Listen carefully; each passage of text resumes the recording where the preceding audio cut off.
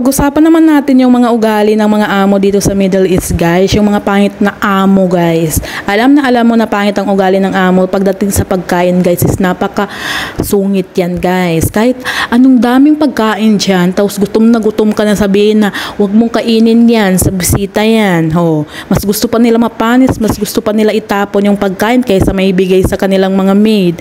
Ganyan talaga yung mga ugali nila. Tapos pagdating naman sa shampoo, guys, sasabihin ay, ay, iabot mo yan ng 2 months. So 3 months yung shampoo mo, yung Colgate mo, ganyan. Oh, alam na alam mo na, nakuripot yung amo mo. Pag ganun yung amo mo, di ba?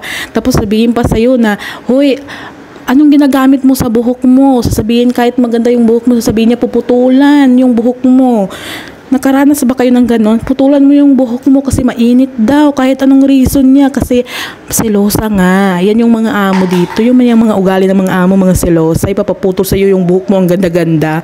Yun yung ugali nila dito. Tapos sasabihin pa sa iyo na huwag ka makipag-usap sa kahit kanino. Huwag mong tawanan yung asawa ko. Eh, Huwag mong tawanan yung asawa ko. Sabihin niya kasi feeling niya ay may gusto ka sa asawa nila. Hay, nako, yan yung mga ugali ng mga amo guys is mag-ingat kayo sa mga ganyang ugali. Tapos sasabihin pa sa'yo guys na yung pere ha, abot yan ng 3 months o 4 months ha.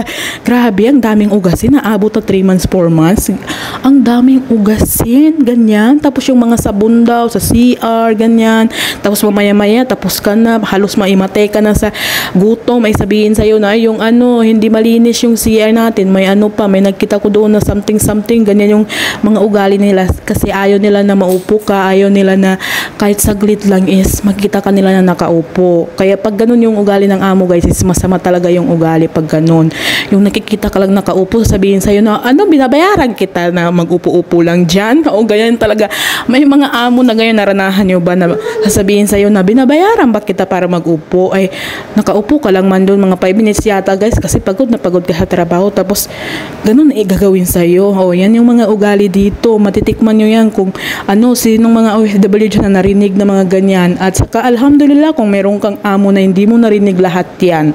Tapos, bubuksan mo lang yung rep, sasabihin niya na, anong tinitingnan mo dyan? Ako, ranas na ranas ko na yan. Tapos, ibabalot pa yung itlog, guys. Bibilangin pa yung itlog. Kaya, yung iba is gumagawa na lang ng paraan para makakuha ng itlog, ba? Tapos yung mga apple diyan, yung mga prutas diyan, bibilang-bilangin 'yan, guys, kasi alam niyo naman masungit si amo, kuripot, yung damit mo is punit na punit na.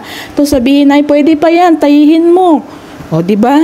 Tapos kapag lumabas ka, sabihin nila na kapag lumabas ka kasama sila, sabihin nila na bakit ganyan yung gamit mo? Bakit lumang-luma? Kasi sila is kuripot, hindi sila nagbibigay ng pangbili ng damit. So kapag ganyan yung ugali ng amo guys, is alam na alam mo na yung amo mo is kuripot. Kapag sabihin mo naman yung sweldo ko, sabi niya bukas lang kasi wala pang ano, nabigay yung baba mo na pera, ganyan. Ah, alam na alam mo na kung ano yung mga ugaling ganyan. Minsan umaabot ng 3 months, tapos utangan ka pa.